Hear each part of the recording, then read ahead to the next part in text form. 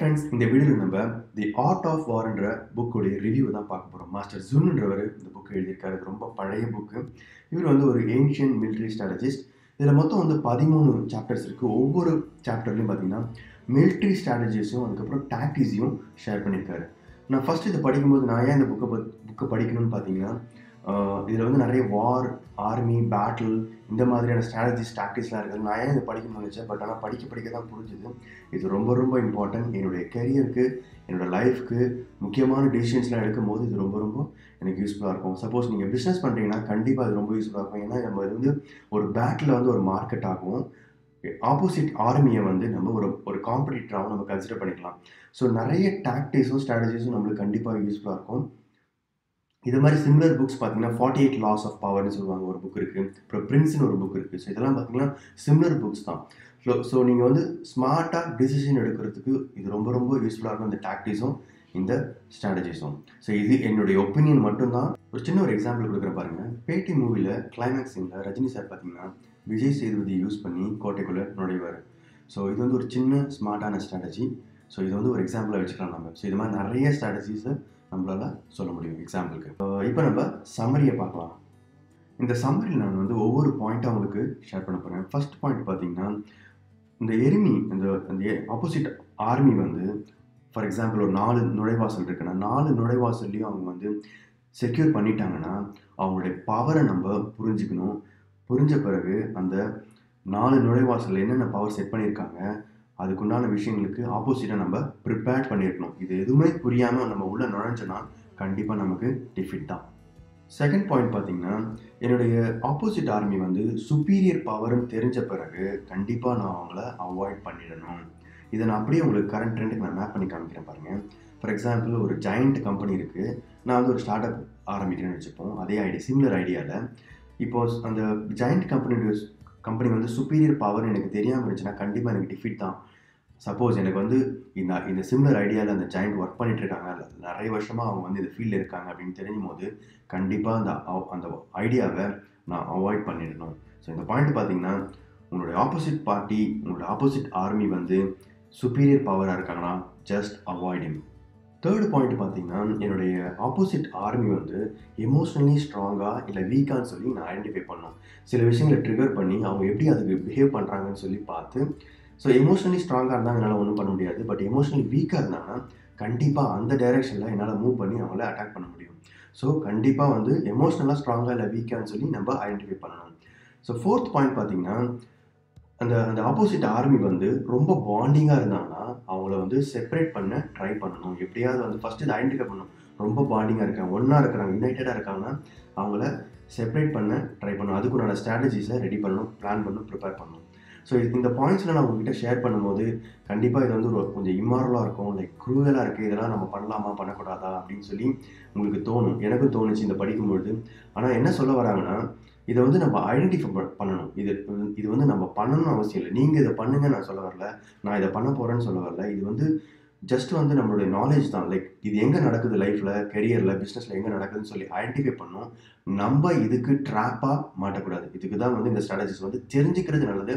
இது நீங்கள் பண்ணுங்க நான் என்னோட ஒப்பீனியன் கிடையவே கிடையாது. ஓகே ஃபிஃப்த் பாயிண்ட் பார்த்தீங்கன்னா எப்போ ஒரு ஒரு பேட்டிலில் ஒரு ஆப்போசிட் ஆர்மி வந்து அன்பிரிப்பேர்டாக இருக்கிறாங்களோ அந்த நேரத்தில் அவங்களை அடிக்கிறது ரொம்ப ரொம்ப நல்லது.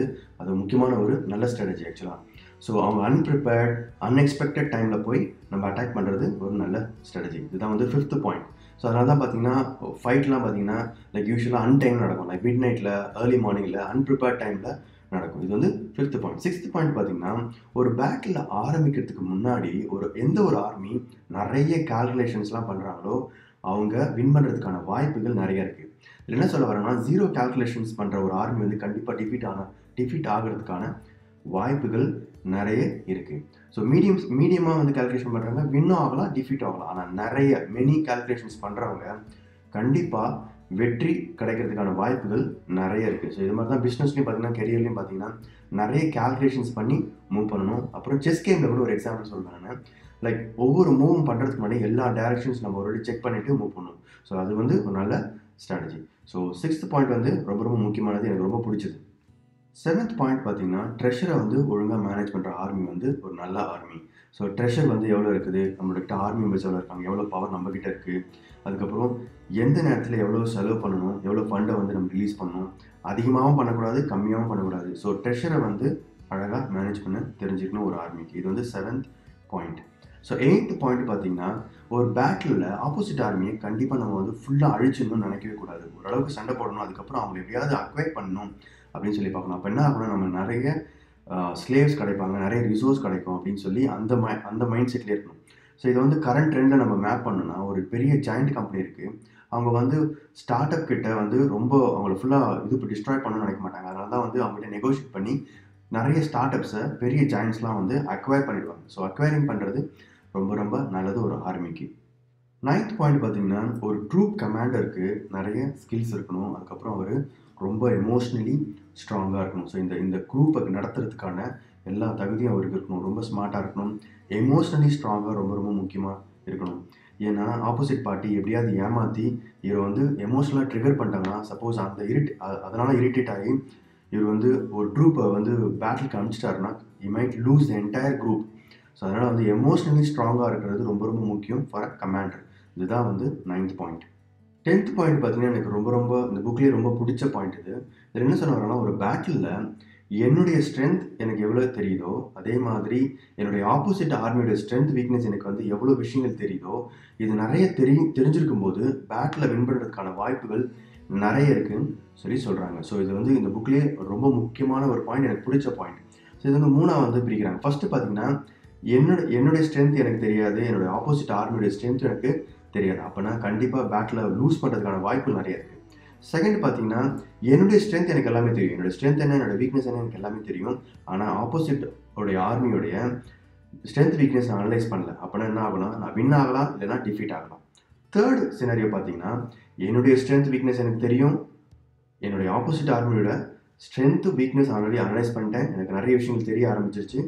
ஸோ இந்த மாதிரி விஷயத்து இந்த மாதிரி நேரத்தில் இந்த தேர்ட் சினாரியோவில் பார்த்தீங்கன்னா ஸோ பேட்டில் வின் பண்ணுறதுக்கான வாய்ப்புகள் நிறைய இருக்குது ஸோ உங்களுடைய கெரியர்லையும் உங்களுடைய பிஸ்னஸ்லையும் பார்த்தீங்கன்னா எவ்வளோக்கு எவ்வளோ உங்களுடைய ஸ்ட்ரென்த் வீக்னஸ் வந்து உங்களை அனலைஸ் பண்ணி வச்சுருக்கீங்களோ அதே மாதிரி உங்கள் ஆப்போசிட் பார்ட்டியோடைய ஸ்ட்ரென்த் வீக்னஸ் உங்களுக்கு நிறைய தெரியுதோ அப்போது வின் பண்ணுறதுக்கான வாய்ப்புகள் நிறைய இருக்குன்னு சொல்லி சொல்கிறாங்க ஸோ ரொம்ப இம்பார்ட்டன்ட் பாயிண்ட் லெவன்த் பாயிண்ட் பார்த்தீங்கன்னா எப்பவுமே வந்து நம்ம ஒரு டிசீக்ஃபுல்லான அப்பியரன்சஸை பேட்டில் ஆப்போசிட் ஆர்மிக்கு நம்ம கொடுத்துக்கிட்டே இருக்கணும். நம்ம அவங்க வந்து நம்மளால் கண்டே பிடிக்க முடியும் நம்மளை கண்டே பிடிக்கக்கூடாது.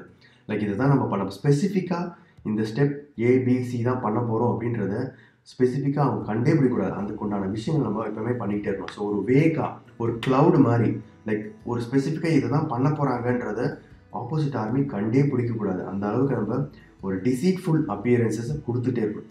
ஸோ டுவெல்த் பாயிண்ட் பார்த்தீங்கன்னா ஏற்கனவே ஒரு ஒரு டாக்டிஸை ஒரு ஸ்ட்ராட்டஜி யூஸ் பண்ணி ஒரு விக்ட்ரியை வாங்கிட்டீங்கன்னா அதே ஸ்ட்ராட்டஜியை திருப்பி யூஸ் பண்ணாதீங்க. அதே டாக்டிஸை இன்னொரு ஒரு பேட்டிலுக்கு யூஸ் பண்ணாதீங்க. ஏன்னா மேபி ஆர்மி ஆப்போசிட் ஆர்மி வந்து அதனுடைய நீங்கள் ஏற்கனவே யூஸ் பண்ண டாக்டிஸை அவங்க வந்து தெரிஞ்சிருக்கலாம். அதுக்குண்டான விஷயங்களை அவங்க ப்ரிப்பேர் பண்ணிருக்கலாம்.